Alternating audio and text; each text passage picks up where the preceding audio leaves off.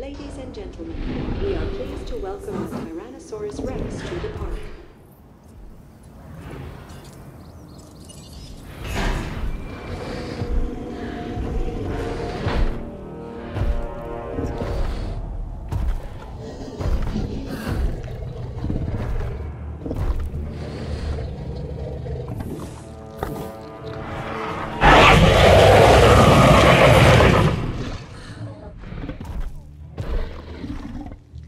Ladies and gentlemen, we are pleased to welcome the Ceratosaurus